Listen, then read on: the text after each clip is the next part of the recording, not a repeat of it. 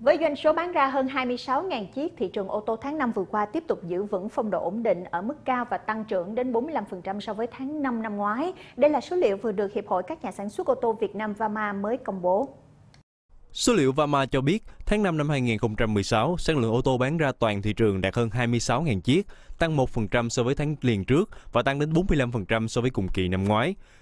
Trong đó, tiêu thụ xe du lịch tăng nhẹ 2%, xe thương mại tăng tích cực hơn với gần 7% trong khi xe chuyên dụng giảm đến 27% so với hồi tháng 4. Đáng chú ý, nếu tính về xuất xứ thì tiêu thụ xe lắp ráp trong nước giảm trong khi sản lượng xe nhập khẩu nguyên chiếc bán ra vẫn tăng ở mức hai con số. Tính chung 5 tháng đầu năm, sản lượng ô tô bán ra toàn thị trường trên 111.000 chiếc, tăng 31% so với cùng kỳ năm ngoái. Trong đó, cả ba loại xe là du lịch, thương mại và chuyên dụng đều tăng trưởng ở mức hai con số. Về mặt thị phần, tháng qua, Thaco vẫn tiếp tục là doanh nghiệp chiếm thị phần lớn nhất với sản lượng bán ra hơn 9.900 chiếc.